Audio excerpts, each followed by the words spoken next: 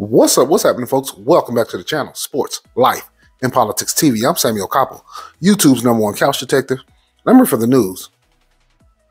And here this past weekend, there was a memorial celebration in New Mexico, where a lot of people who drive their motorcycles come together and they enjoy food and drinking and fun in the sun. But there was two rival motorcycle gangs who ended up in a shootout and they're calling it a mass shooting. Now, is it a mass shooting? Yes, because a mass of people did get killed and shot. But there's two different kinds of mass shootings. There's a mass shooting when somebody snapped and killed for no reason. Then there's a mass shooting of people in rival gangs. And this is the rival gang mass shooting. Now, in the United States, there have been an inordinate amount of mass shootings of motorcycle gangs in the United States. I will be going over this clip, but I just want to go through some of these cases. As you can see, uh, biker gang investigates four men on New Year's Day shoot. Motorcycle gang speaks involving members. You can just go down, shoot out of motorcycle gangs on I-5s, leave one in the grave. Shooting on US 95 outlaw motorcycle gang. That's right here in Vegas where I stay. 10 more arrested in biker gang mass shooting. That was in Oklahoma. You could just go down the list of biker gangs that's happened. And that was in the past year. Now I could have went into more, but there were so many. But I just want to, you know, give a look at there is a lot of violence. The United States has become the most violent country in all of the world. There is a demonic spirit over the United States that just cannot be shaken under any circumstances. I will be covering this uh, Memorial Weekend shooting in Chicago, but Chicago is just a microcosm of what the United States has become overall. The amount of shooting, killing, violence, unnecessary death it's unprecedented. It's at an all time high. Let's take a look at the clip. Tonight, the Main Street mass shooting in New Mexico. Three people dead, five injured after police say rival biker gangs opened fire at a popular motorcycle. All eight individuals have been identified as outlaw motorcycle gang Bandidos, and the second one is we call the water dog. The gunfire breaking out Saturday evening in Red River small resort at the southern end of the Rocky Mountains. Police and one of them he said was the Bandinos, and I really couldn't hear the other one.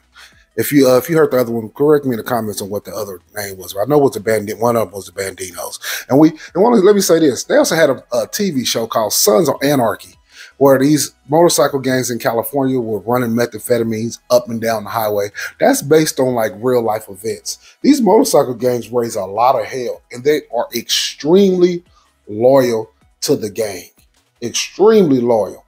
And they're some of the most violent gangs in America. They're not talked about as much, but these motorcycle gangs are violent as hell, and they stick to the oath. Lead to the continuation of an ongoing squabble between rival gangs.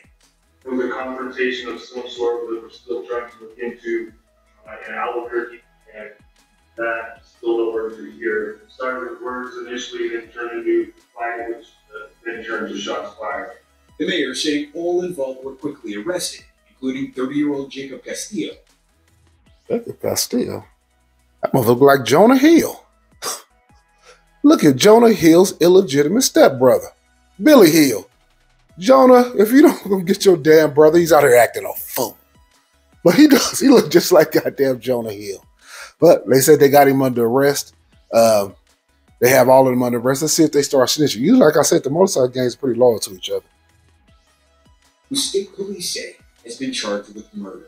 Shooters have all been There is no threat to the community New Mexico's governor tweeting, My thoughts are with the Red River community following this violent incident. This weekend shooting comes less than two weeks after three people were killed and six injured in Farmington, New Mexico, according to the Gun Violence Archive there have been 253 mass shootings this year.